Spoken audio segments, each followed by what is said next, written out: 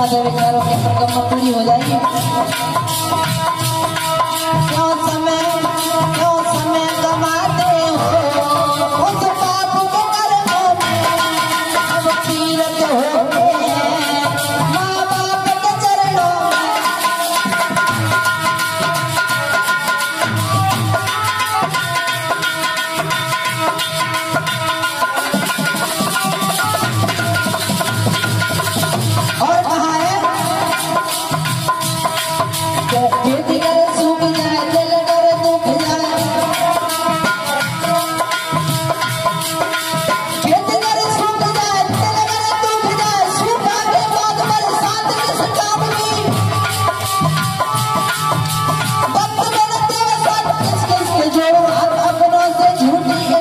This is love. a